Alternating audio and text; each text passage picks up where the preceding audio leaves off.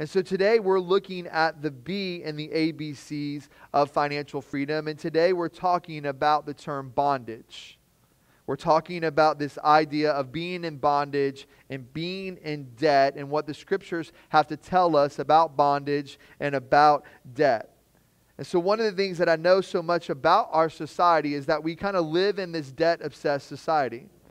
We live in a society that has become obsessed with being in bondage and being obsessed with being in debt. It's not that we necessarily want it, but it's just become the norm for us. So watch your mail over the course of the next six weeks and just set aside the, the amount of credit card offers that you get in the mail, right? You just set them to the side. If you just looked at them, you probably would have a stack that would look like this of just credit card offers for new credit cards. And you even get credit card offers from the same company that you may have a credit card with. Like, I already have one credit card with you. Why do I need another one, right? And so you just, we are in, we have become in a society that most of us have just accepted this idea that I'm supposed to be in debt, that I'm supposed to be in bondage, I'm supposed to have credit cards, I'm supposed to have a car payment, I'm supposed to have all these things. And we have just kind of became in this idea that we believe that this is just the norm for us. But I believe, and we believe at the church, that the Bible is crystal clear of what God's will is for our lives in this area. That for most of us, or for those of us that are followers of Jesus, God's will for our life is that we wouldn't live under the wouldn't live under the bondage or the slavery of debt long term. I mean, I, I truly believe that. I mean, we're going to look at it in a little bit. I mean, some debt at some point may be necessary, but in a long term picture of things, we're not looking, God doesn't want us in debt for the long, for the long, for the long haul. But the reason why so many of us don't like talking about money is because we're living under the stress and the pressure of financial debt. I told you guys last week, right, that we could get together, we could go to coffee, we could go to lunch, we could go hang out, I could come to your house to visit, I could do all of that, and you would let me into certain aspects of your life. But the second that we began to talk about your finances, it would get a little bit uncomfortable. We began to talk about how you manage your money or, or what you do with your money or what does that look like or whatever. Like it, everything is on the table for the most part with most people except for our finances. And when we get financials, when we talk about finances, it gets a little bit uncomfortable for people.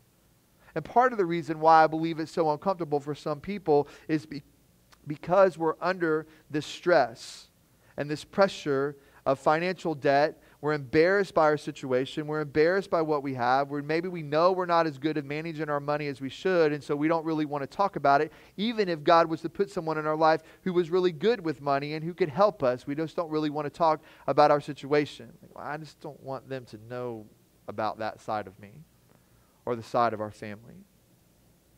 But when you look in the scriptures, and you don't have to turn there, it'll be on the screens, you can write it down later. But Proverbs 22 7 Proverbs 22 7 says this It says, The rich rules over the poor, and the borrower is the slave of the lender. The rich rules over the poor, and the borrower is the slave of the lender. When you break down the word rules or rule in this scripture, it means to have dominion over. It means to, to reign over.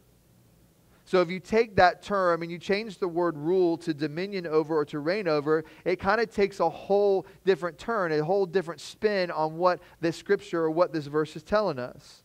The rich have dominion over the poor, the rich have, they reign over the poor, and the borrower is the slave to the lender or of the lender. And so we get this powerful picture in the scripture that we're going to look at today that we get to see what it looks like when we are in debt to others, when we are a slave to others, how, it, how, how that happens and what happens in our life. And so many of you, and we're going to be in the book of Exodus today, if you guys want to turn there to Exodus chapter 1. But as you're turning there, I want to set this up for you today. Many of you may be familiar with the story of Joseph. Many of you may have never heard of Joseph before. So, either way, I just want to set up the story for you for just a moment. If you read through the book of Genesis, you will eventually come to the story of this boy named Joseph who is eventually sold into slavery by his brothers.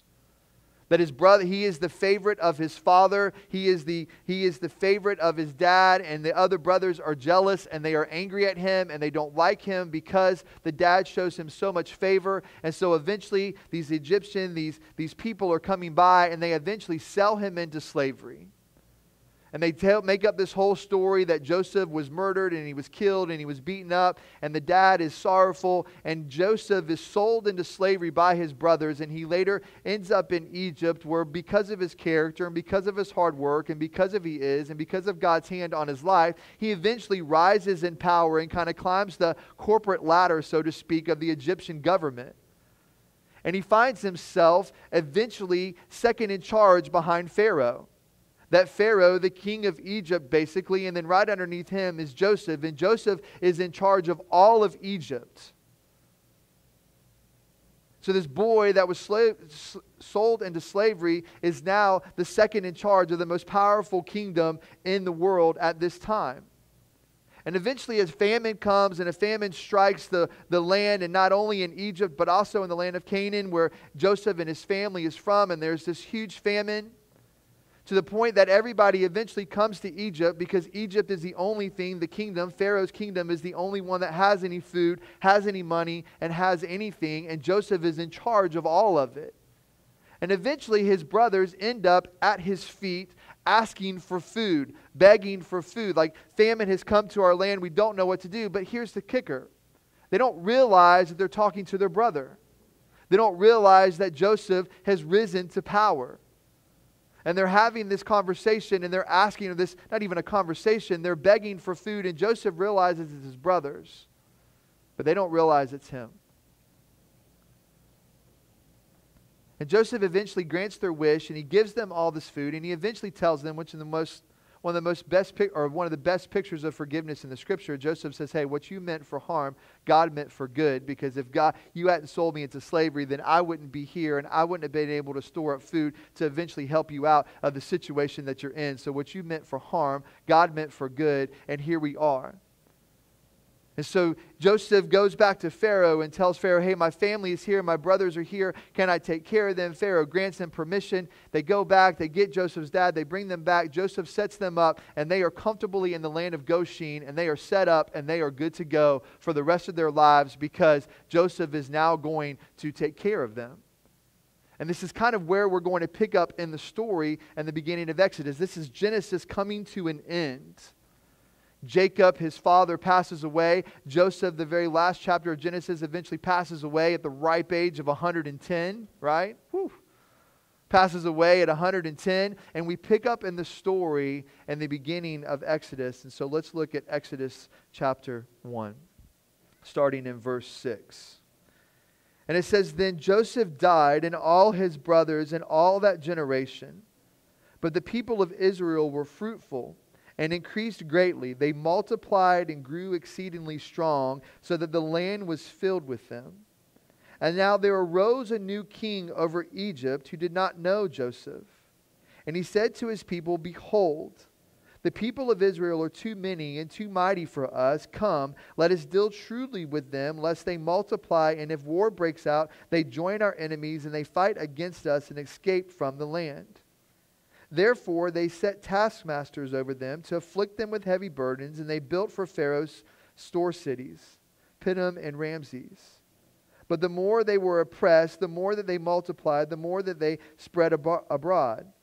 And the Egyptians were in dread of the people of Israel, and so they ruthlessly made the people of Israel work as slaves and made their lives bitter with hard service, in mortar and brick, and in all kinds of work in the field. And all their work they ruthlessly made them work as slaves. So, in this story, Joseph has passed away. All of his brothers have passed away. And then all of a sudden, the, the, Joseph's legacy begins to kind of fade away. A new king rises in power in Egypt, and Joseph's, Joseph's uh, legacy kind of wears off. For so long, the, the Israelites, the people that were there, Joseph's people, they continue to multiply, which is the promise of God that they would multiply and eventually be led to the promised land. But they continue to multiply and they continue to multiply, and they've gotten comfortable where they're at. And they're living under the legacy of Joseph. And eventually, Joseph and his brothers pass away, and a new king rises to power. And all he sees is a lot of Israelites that aren't his people, and he's a little concerned about them, and he's a little worried about them, and he gets a little bit like, well, if they rise up and join our enemies, they could overtake us. So we need to do something about this. Let's just lay a burden of slavery and a yoke on them, and let's just work them to death so that they understand who's in charge and what's happening. And so in the story, Joseph is sent to Egypt to temporarily help the children of Israel during the famine. But I don't believe that the point was for them to always stay there. Like when the famine was over, they could have gone back to Canaan. But they got comfortable where they were. They got comfortable living under the legacy of Joseph. They got comfortable being provided for. They got comfortable of having all that they wanted and everything that they needed. And so they get comfortable in Egypt and they get used to their new reality. And consequently, consequently they end up being slaves for over 400 years in the land of Egypt because at first they got comfortable and they accepted the new norm for their life, and this is what they wanted and this is what they got comfortable with. And next thing you know, that leads to 400 years of slavery. Generation after generation after generation is in bondage and in debt and in slavery. And for us, it's the same way today. That we've bought into this lie that bondage and debt is the new norm. That bondage to credit cards and bondage to new car payments and bondage to student loans and bondage to a new house and bondage to a new couch and bondage to a new shirt and bondage to a new pair of shoes and bondage to this and bondage to that. We have bought into that's the norm well, I can't afford to pay for this, but I really need this, so I'm just going to go ahead and accept this credit card offer so that I can buy what I need, but then I'm going to pay it off as soon as I can. And then we never pay it off, and then the debt just piles up. Well, now I have this debt, but let me go get this. Well, I want to buy some new furniture, and Rooms to Go is offering this deal, and so let me get this, and well, this person's offering that, and it's, it's 60 months no financing or no interest, and so let me get this, and all of the thing you know, we've just accepted the new norm that whatever I want, whatever whatever I need, I can just go get it, even if I don't have the money for it. And we're just like the people in the story that we're talking about, that we find ourselves in bondage and in debt and in slavery because we've just accepted the norm that it's okay. And so this morning, I, have got a lot for you guys because I, I believe so much. I told you last week, I'm going to tell you today quite a few times that we're going through this series and it's it's not that fun to preach about money it's not that fun to go through this it's it's the first time i've really led a whole series about giving and money and attitude and bondage as we're a new church but it's crucial and the reason why it's crucial is because i don't want something from you i just want something for you I want your attitude towards finances to be right. I don't want you to be in bondage. I don't and next week we're talking about the choice to, to be generous. I, I want this for your life. I don't want something from you. I want something for you. And so I have a lot for you this morning. And so lean in, tune in. Don't tune me out today. But I'm going to give you some realities of debt, and then I'm going to give you some ways to break the bondage of that. And so this morning, I want to talk to you first about the realities of debt. The first reality of debt is that debt obligates us to someone other than God. That debt obligates us to someone other than God. That when we owe someone something, we're obligated to them. If you come to me after service today and say, Pastor Kevin, hey, uh, can I borrow 20 bucks and I'll pay you back next Sunday? I don't really care whether you pay me back or not, but if you tell me that you're going to pay me back, then you're kind of obligated to me to give me the money back. And so when we owe someone something, we're, we're obligated to them. I don't know if this works in your guys' lives or not, but it works in mine. Like, think about this. If, if someone calls you or someone texts you, I almost feel very obligated to get back to that person. And some of us are better at returning voicemails and phone calls than others, and some of us are horrible at it, right? But if you call me and leave me a voicemail or you call and send me a text message, like my rule of thumb is, man, I got to get back to you within like 24 hours at the most most of the time, if you guys know, those of you that text me, like I get back right away. Like I'm, but I live on my phone, unfortunately. But if I can get back to you within 24 hours, or if I text you or I call you, man, I just feel like, man, you should get back to me within like 24 hours. Like, that's just the right thing to do. And so I broke my own rule the other day. Somebody called me and I wasn't obligated to them for anything. I didn't owe them anything. I didn't they just called to check on me to see how I was. Someone I hadn't heard from in a couple years, a student from Southeastern that did an internship with us when we were at Fuel Church. His name was Zach and he called me a couple weeks ago and said, "Hey Pastor Kevin, just wanted to check on you, see how the new church is doing, how's things going." And it got lost. Like it got lost in my voicemail. It got lost in my mind with everything that I have going on. I didn't owe him something. He wasn't looking for something from me, and I broke my own rule, and I realized that two weeks had gone by, and I hadn't text, I hadn't called Zach back, and I felt guilty. Like I called him, and I almost just felt kind of, as we say in our house, ako taco, right? Like kind of awkward a little bit, like. Hey, Zach, this is Pastor Kevin. Sorry, bro, that I didn't call you back for two weeks. I'm a loser. Um, you know, hope you're doing well, right? I almost felt bad. But when, we, when, we're, when we're obligated to someone, when we owe someone something, we're obligated to them. And just like this voicemail, there's a window. Like if I had gotten back to Zach in a couple days, it probably wouldn't have been as awkward, but two weeks had gone by, so it made it a little bit awkward. And so the first reality of debt is that debt obligates us to someone other than God. The second reality of debt is that debt is something that God wants us out of. The debt is something that God wants us out of. I mean, just plain and simple, being honest as I can possibly be with you this morning. I mean, just plain and simple. God wants us to be on a trajectory or a path of moving away from debt. God doesn't want you living in the debt and the bondage that many of us and many of the people that we know live in. He doesn't want that for your life. I believe truly with all that I am that God wants us to be a giving person and not just a taking person our entire life. And when we're under the bondage of debt and under the bondage of slavery, we cannot be as generous as we'd like to be. And I'm not just talking about being generous with your tithe or generous with what you give at church, but just generous in general to people that you talk to, people that you interact with, people at work that you may know need something, somebody that may need something for Thanksgiving and you wish that you could help them, but you don't have enough. You know, things like that. Just being a generous person. God wants us to be giving people and not just taking people our entire life. I've told you guys many times that I want our church to be known for our generosity. We don't need to be known for our worship. We don't need to be known for my preaching, or we don't need to be known for things that the church does other than the fact that we're just generous with what we have, with our time and with our talents and what we give. Like, I just want to be known for our generosity. And so, debt is something that God wants us out of so that we can be people of generosity. In Deuteronomy 28, you can write this down and read it later. I'm going to read it to you. But in Deuteronomy 28, verses 12 through 14, it says this The Lord will open to you his good treasury, the heavens, to give the rain to your land in its season, and bless all the work of your hands. And you shall lend to many nations, but you shall not borrow, and the Lord will make you the head and not the tail. And you shall only go up and not down if you obey the commandments of the Lord your God which I command you today, be careful to do them.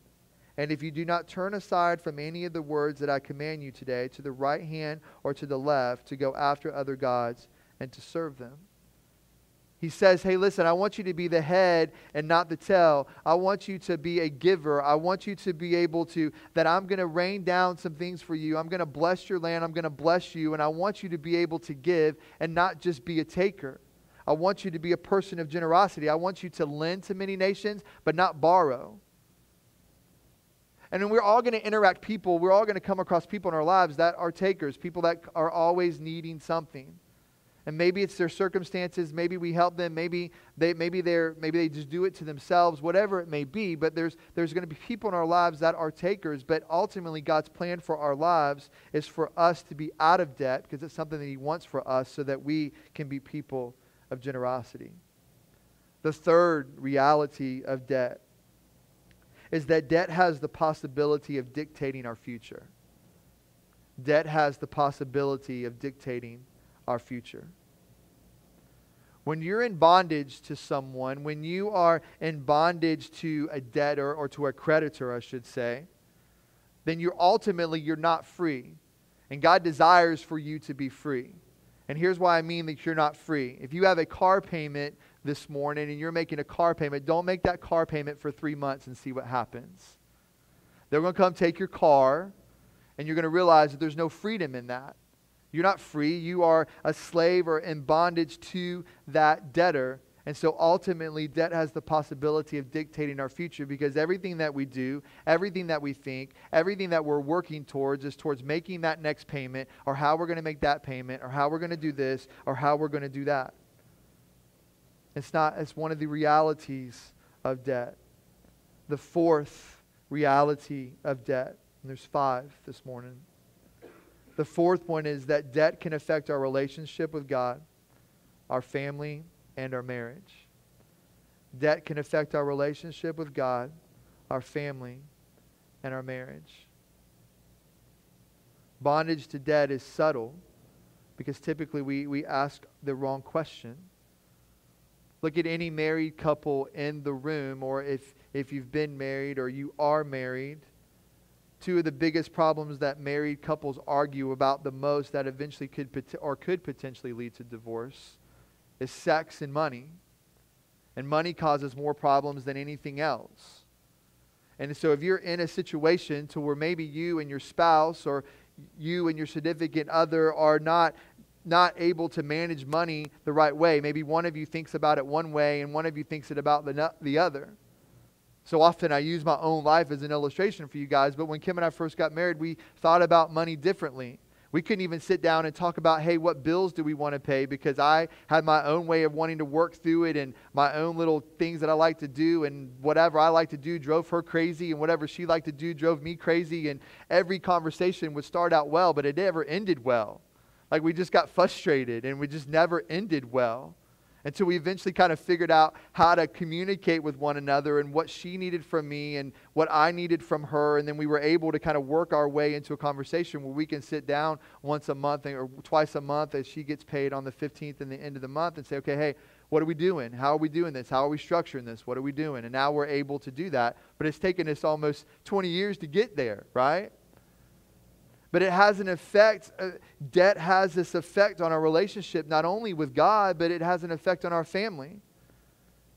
Like if you've ever felt the pressure of being able to pay bills each and every month, and it could have an effect on your kids, it can have an effect on your family. Some of us are great about protecting our kids from certain things. Like Kim and I are, haven't always done a great job from protecting our girls from everything, but one of the things is if there were money problems or money issues, we've always protected them from that. My kids don't need to know that I can't pay the electric bill this month. We just need to figure it out. My kids don't need to know that, hey, the reason why we can't go to eat is because we're broke. We just need to say, hey, we're not making a decision to go out to eat tonight. We're just going to eat at home. And some of us are better at protecting our kids than others, but if, you if you've ever, just let the stress level in your house go up about anything and your kids feel it. And your kids react to it. Like just anything, like either stress level in your house, even if they don't know, even if they're young, their kids can be three, two, even young, and they just feel the stress of their parents.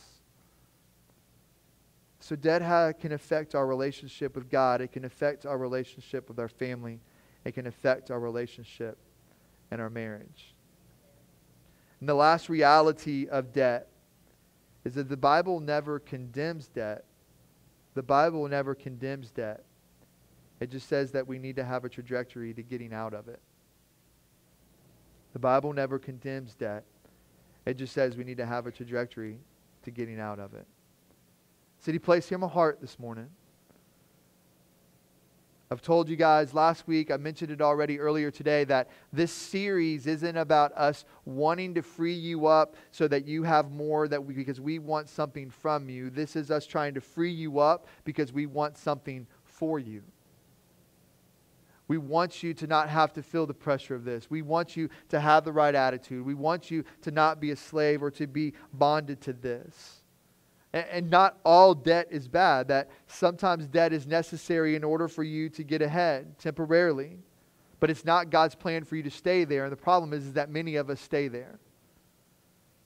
Many of us have the dream of owning our own house, or maybe we own our own house. Most of us, if you own a house, you probably have a mortgage because if you had to save up $250,000 to go buy a new house, the, guilt, the bet is you probably would never save up $250,000 to just go pay cash for a house. Many of us they saved up for a car. You need a new car, but do we have to get a 60 month financing loan? Can we just do 24 months and get a car that's a little bit cheaper? Like God, God, it's, debt is okay in a season, but God doesn't want us ultimately to stay there. The problem is, is that most of our mindsets is like, well, it's just the norm. Like my car payment, I should always have a car payment. No, you shouldn't. Right? I should always have a couple credit cards. No, you don't have to. I mean, some people are great. Like they get a credit card, they run stuff up, they pay it off that month, and it's good, right? Others of us like, well, I was going to do that, but I didn't. And then the next month I didn't, and the next month I didn't, and the next month I didn't, and the next thing you know, you're paying, you know, for 40 years on a credit card. And so not all debt is bad, but some debt's useful for us to get, a whole, get ahead. And the story that we looked at in Exodus, the children of Israel, God used Egypt for them in that moment to feed them. God used Joseph and the famine and what was happening in that moment. He took care of them, and they were in debt to that for a little bit. They were to stay there and work, but they didn't have to stay long term, and they did. And the next thing you know, it led to them to bondage and slavery for over 400 years. And so now I want to give you a couple bondage breakers. Bondage breakers. The first bondage breaker is that we need to commit to God to get out of debt commit to God to get out of debt. That when we make a commitment to God to get out of debt, it takes us from the borrower category to the lender category. We move from taker to giver. We get to being a lender and a giver is way better than being a taker and a borrower. And so if we make this commitment to, to get out of debt, if we make this commitment to God to get out of debt, I don't know about you, and I haven't always kept all of my promises that I may have made. And a few weeks ago, I told you guys about promise, and then there's pinky promise, right, which takes the promise to a whole new level. I haven't always kept all of my promises, and I wish that I could say that I did. But if I made a commitment to God, if I made a promise to God that, hey, I'm going to get out of this, that's one person I probably don't want to break my promise to. That God desires for us, as we read in the scripture in Deuteronomy, that He wants us to be the head and not the tail, that we can be free from debt. We just have to make the commitment to God to get out of it. Romans 13:8 says, "Let no debt remain outstanding except the continuing debt to love one another, from whoever loves others has fulfilled the law." The second bondage breaker is don't acquire any more debt. So we're going to make a commitment to God to get out of debt. The second bondage breaker is that we're not going to acquire any more debt. You'll never get out of a hole that you keep digging, right? So if I'm standing in a hole with a shovel in my hand and I'm like, eventually I'm going to get out of this hole, if I just keep digging, eventually something's going to happen. And the more that I dig, the deeper I go. So you're never going to get out of a hole that you continue to dig. And so the second bondage breaker is for us not to acquire any more debt. The third bondage breaker is for us to put God first in our finances. Nobody, nobody who ever put God first in their finances has ever felt like God let them down. I promise you that. Anyone who has put God first in their finances has never felt like God has ever let them down. We can't get to the financial picture, to that sunset that we showed you last week, which is ultimately where I would hope all of us would want to be. None of us would want to live in the tornado or the cloudy day. I would much rather, even though I don't like the beach, be on the sunset, right? Than in a tornado. We're never going to get to the financial picture that we want without including God in the process. And just like we talked about last week, He owns it all, anyways. Remember? Everything that we have is just on loan from God, everything. And so He owns it all, anyways. But putting God first in your finances can be difficult. Like many of us have the mindset of, well, I'm going to do what I can, or I'll give what I can, and I'll, I'll, do whatever I can, but I got all these things to do. That God's not first in your finances. When God's first in your finances, I promise you, He will never let you down. When Kim and I first started going to church, and I was brand new to church, and she had been in church pretty much her whole life. And we got to church and we're, uh, we're there. And I'm a brand new Christian. It's like 14 years ago. And she's like, hey, we got to start tithing. What does that mean? And she's like, that means we got to give money to the church. I'm like, what? I ain't giving no money to the church, right? I mean, I'm working. You work, I work. We make good money. Like, I'm keeping my money. What are you talking about? She's like, no, it says that we should give a certain percentage of our money to the church. And I'm like, you're crazy. That is not happening, right? Eventually it happened, of course. But he was like, no, this is what we're supposed to do. This is what we're going to do. And even though there's times that it's tough and we give whatever percentage we give and we, we do what we do and we tithe to City Place and we give to City Place and sometimes it's tight and we're not sure how things are going to happen, but God always shows up, right? I might get a speaking engagement to go speak at someone's church for them, and they give me a, they give me a love gift for being there. a check may show up in the mail from this person, or a check may show up from that person, or this person blesses us this way, or this person blesses us that way. Whatever it is, we put God first in our finances. I promise you, He will never, ever, ever, ever let you down. Ever. And bad things may happen at first because it's a process, right? You ever not worked out for a really long time and then go to the gym and the first three weeks is miserable because you are so sore? Because you haven't lifted weights in a really long time and then now you're lifting and you're sore and you're like, what's the, man, this hurts and my arms hurt, my chest hurts, my legs hurt and I don't really want to do this or I just started running or I just started walking and my body's sore and for about two or three weeks it just hurts. And then eventually, like, you see yourself in the mirror and you see a little bit of a result and you're like, oh, wait, you know, right? And you're like, and nobody hope nobody sees you, right? Flexing in the mirror. But after a couple weeks, you're like, man, there's a difference. Like, this is good. Like, okay, now I want to go to the gym because now I'm starting to see the difference. When we put God first in our finances, it's the same way. He may take you through a portion. He may take you through a season where it's tough. He may take you through a season where it's difficult, but eventually He's going to see you out of it. And in the end, things are going to go crazy, and God's going to bless you with it. I promise. The fourth bondage breaker is that we have to develop a written plan. We have to develop a written plan. Last week, we told you guys that we had books out that we were going to give these books away. The ABCs of Financial Freedom, what this whole series is based off of. And there's some books out on the connections table. Take one per family. Take it. If we run out and we don't get some, let us know and I'll order some more. But we want to give you guys the books because in the book there's a plan that helps you do the things that we're talking about. Talks about your attitude, talks about bondage, talks about the choice. We want to give you the written plan. We want to help you the best way that we can, which is why we're giving the books away for free. What gets measured gets repeated. What gets celebrated gets repeated. And so you got to have a written plan. You ever put something down and then achieve that goal and then you're like, woo! Like, this is good. Like, I did it. Like, I achieved my goal. I did what I needed to do. Like, I had a plan and it happened. And, and so, what gets measured gets repeated. Like, you got to have a goal to shoot for. You got to have something, right? I'm a goal oriented person.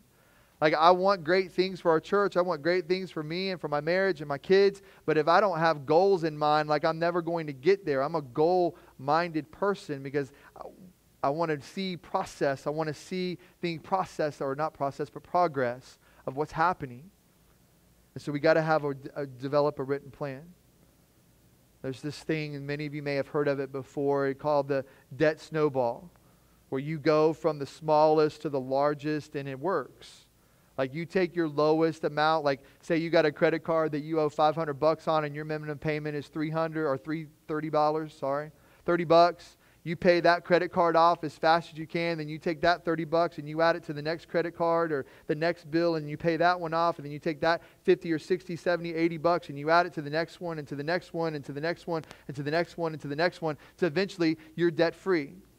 So eventually, like if we were to do that and we got down to our largest debt that Kim and I have is my student loans, if we were to get to a point where we took all of the other stuff that we had and we were to add that all into a payment and make a payment of six, seven, eight hundred dollars a month to my student loans, they'd be paid off a lot faster than me paying 250 bucks a month. And you have this debt snowball. So you got to have a plan. You got to know where you're going. We want you to have the right attitude. We want you to be out of bondage, but you got to have a plan. The fifth bondage breaker is to put it on a time frame put it on a time frame. The book's going to help you do that. The book is going to help you establish some timelines because here's what we know. And this is true about anything in life. not just this, but anything in life, that when you can see the finish line, it'll boost your morale. Like if you've ever been an athlete and you've ever been in a race and you're running, regardless of whether it's a 100 yard dash or maybe a marathon, and you're running it and you see the finish line at the end, it boosts your morale a little bit. It helps you get through. Like, man, I'm tired, I'm exhausted, I've been running or I've been doing this, but all of a sudden I see the finish line and now there's a boost because you're almost done and you just push through to the finish line. It can be that way about anything. It just doesn't have to be a sport per se, but ever work towards a goal man, I want to graduate college, and you get close to college, and the thing that keeps you motivated is the finish line. You got a project that you're working on, and you're almost done, and the finish line is right there. When you get close to the end of that, you push through. Like seeing the finish line boost your morale. And so we got to have a time frame. Man, in the next 90 days, I want to have this paid off. Or in the next six months, I want to have this paid off. In the next six months, I want to have this paid off. And we just kind of add this to our cycle so that we have things on a time frame. But remember that what took you year, what took you years to get into won't be fixed overnight. The hole that we talked about earlier, that you know we just keep digging and digging and digging and digging. It's taken a long time to dig that hole. You're not just going to jump out of it overnight. But you got to have a plan. You got to put it on a time frame, and we got to work towards the freedom that God ultimately desires in our life. And the last bondage breaker is this that we adjust our lifestyle. Adjust your lifestyle. I asked you last week this idea what are you willing to go without so that you can live in freedom? What are you willing to go without so that you can live in freedom? That if we're going to break the bondage in our lives of debt, that eventually we're going to have to say no to some things so that we can say yes to some things later. And so, what as a church, what is as a body of Christ, what if we were willing to commit to this?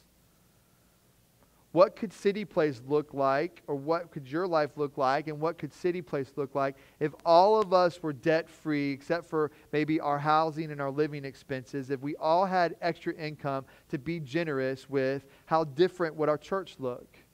Not because we would have great things here, but just the word on the street about, hey, man, this lady that goes to CityPlace just blessed me with this, or this just happened. That God desires for us to be givers and not just takers. And isn't it better if you've ever had the opportunity to give? Don't you feel better about yourself when you give than when you take? And sometimes we're in situations where we need help. And I'm not saying if you're in that situation that's what our church is for. It's why we have benevolence. It's why we help people as much as we can with rent and electric and groceries. And we understand that there's circumstances that hurt people's lives where you need help. But many of us would never ask for help. Many of us would never say, Pastor Kevin, I don't, I don't know if there's any way the church can help me, but like if I don't pay my electric bill by Friday, my power is going to get turned off, and I, I don't know what to do many of us wouldn't come. Like, I want you to know, hear my heart, the church has money set aside to help you if you're in that situation. Now, we can't help you every month, but we can help you.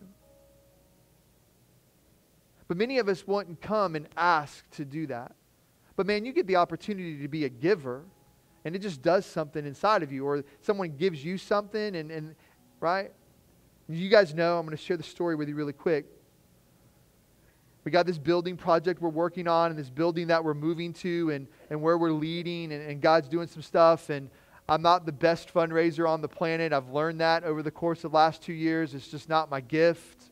I got other pastor friends that can sneeze and money falls in their pockets, right? It's not my gift.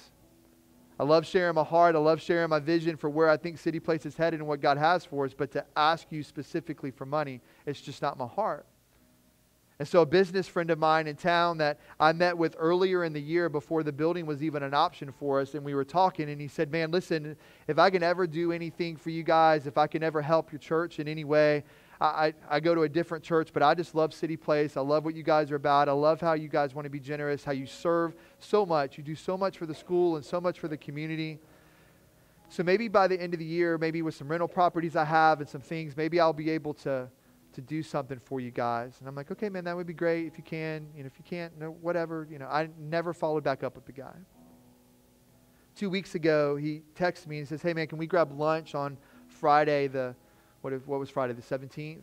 Can we grab lunch on Friday, uh, the 17th? And I'm like, Sure. And I just thought he wanted to get together and catch up and whatever. And so we sit down at Crispers in downtown and He's like, Tell me what's going on with the church. And I'm like, Oh man, it's so amazing. I haven't talked to you in like 10 months. Let me tell you everything God's doing. He gave us this opportunity for this building, and I'm trying to raise money, and I'm trying to do this stuff. And we got this thing, and the community around us is excited about us coming, and our church is excited, and we're going to have our own space, and it's going to be awesome, and all these cool things. And this has happened, and that's happened, and God moved this way, and God moved that way, and we've had people give their life to Christ and baptizing people. It's like, it's been really cool, man. It's been so awesome.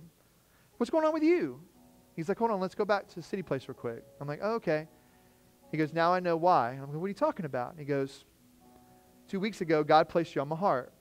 Two weeks ago, God told me that I needed to give some money to CityPlace, and I had no idea why, but now I know why.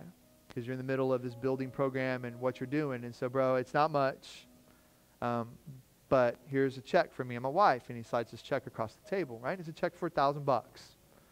And I'm, I, he's like, it's a check for a thousand dollars, and and it's for your building and do what you need to do with it. And I open the check and I'm like, bro, are you kidding me right now? And he's like, no. And he goes, I know it's not much. I go, are you kidding me right now? Like, we need 50,000 bucks. Like, that's what I think we need to raise. And now I only got to raise 49,000 instead of 50,000. And it sounds better to say 49 than 50. And if I can get 49 more of you to do this, we're good, bro. We're good.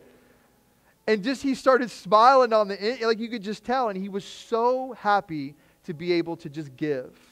He had no idea why he was giving. He just, it's what God desires for our lives. Like God wants us to do that. But when we live in the bondage of slavery, we're not able to do that.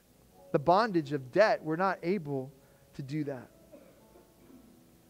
I've told you for two weeks. It's my bottom line, my closing thought for the day is that we don't want something from you. Instead, we want something for you. And so the challenge on the table this morning is this Would you make the commitment today? Would you make the commitment to say, hey, I'm going to grab the book, and I promise you, if we run out, I'll order some more, and we'll get them here ASAP for you? Would you make the commitment to read the book? Would you make the commitment to make a change in your finances, regardless of what financial picture you're in, whether you're the sunset or the tornado or anywhere in between? Would you make the commitment to do that? Because God desires for us to be people of generosity. God desires for us to not be in debt long term. And so many of us, me included, have just accepted the idea that it's the norm. So we're making changes in our lives. We're making changes in our finances based on this. I'm praying that you will as well. And we look from a year from now and see what's happening and what God does and what God's doing in your life and in the life of our church, man. Look out. It's going to be great. And so this morning, I want to ask you to close your eyes and bow your heads for me for just a moment.